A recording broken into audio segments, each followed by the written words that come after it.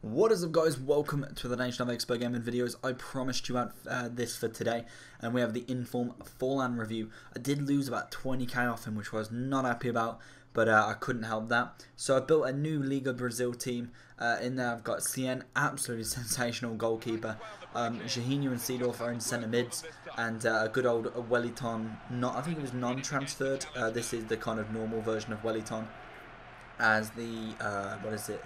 Does he go into the Russian league? Is it or now Spartak Moscow? I think it is. He goes into. So this is the other version, and we've got quite a few clips for you. The first two games here, um, you'll see that we're both in Man U and Chelsea kit, um, and we do play two games. This is against a friend. Um, we play against. We play in loads of reviews. To be honest, you probably see his name or whatever quite a lot around, uh, with me, but we we have like quite quite even teams. I'd say it depends what sort of teams we're playing against, but we both are very kind of um, kind of kind of both similar play ability. I think both of us do win against each other. Like as in he'll beat me, I'll beat him, and uh, it's really good to play against. As he just it's there, and I know that I'm not going to get like tramped and everything. But he do. I'm just saying, just before people go on like, oh, he's just going to let you win. He doesn't let me win at all. Trust me. Um, but anyway, going on to Forlan's review, he costs him about 80k. You'll get him for now, so it's pretty cheap. I think his man of the match is about that much as well, which is a bit weird. How he's pretty much the same ability, uh, same price. So he is a striker, 34 years old, 5 foot 10, right-footed, high attacking work rate, uh, medium defensive, 5-star weak foot, 3-star skill moves, uh, traits, tries to beat offside trap, long shot, uh, long shot taker, and outside of the foot, uh, outside of the foot shot. So going into some of his 90s, 92 ball control, 96 curve, 93 finishing, 93 kicks, 95 long shots, 91 penalties, 94 shot power, 95 volleys, 92 reactions. All the stats will be in the description of the link to Futhead. Um, some brilliant stats to be honest, and um, he did score a couple of goals to be fair. This was definitely, this is the last clip, and this is just beautiful. Look at this inside there, and smashes out, rising to the top right that was just a beautiful goal. That that literally was the last game and the last goal he scored. That topped everything off for me. He was a very good player, I must say. I didn't enjoy his man of the match version purely because he was in striker. If you get Forlan in form or anything, make sure you get him in centre forward. He cannot play striker on top. He needs to be a centre forward. So originally this would be a centre forward card, but I put it as a striker just because I've got it from the team of the week. But I would say get him as a centre forward. He is a brilliant centre forward.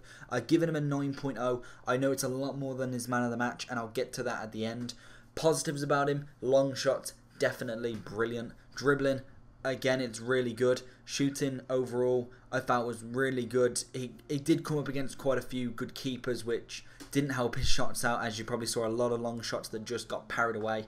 But he was a brilliant, he was a brilliant shot taker, to be honest control on the ball as well. I noticed that quite a lot. These pretty much positives and negatives are almost identical to uh, to Thierry Henry, but I think um, Thierry Henry as well would be a good centre forward. Negatives definitely is pace. I'd say that's the only thing that's stopping him being a striker is that he's only got 70 pace and he feels quite slow on the ball. But his other kind of attributes kind of overcloud that pace when he's in the centre forward as he gets that space. As you see, if you saw in the review from the man of the match, Forlan, he never got that much space to take that many long shots in centre forward. He has that time on the ball and he does manage to get into them spaces which allow him to take the long shots, which is perfect. Why I wouldn't let him in why I wouldn't let him in striker is just because he's too slow. And I didn't do it in his man of the match card just purely for money reasons.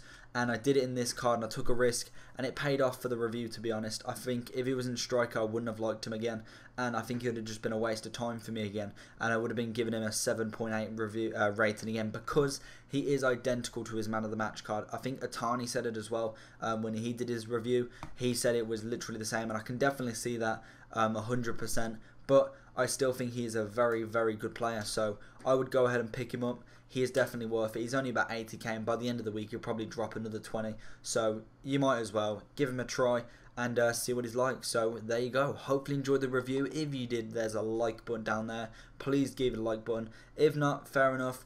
Um, it's only a review, and uh, I, I can understand a lot of people are getting a bit bored of FIFA videos, but I'm just trying to do whatever I can now um, to keep doing it. I'm bringing out new series hopefully soon, and I'll see you all again next time. Bye bye.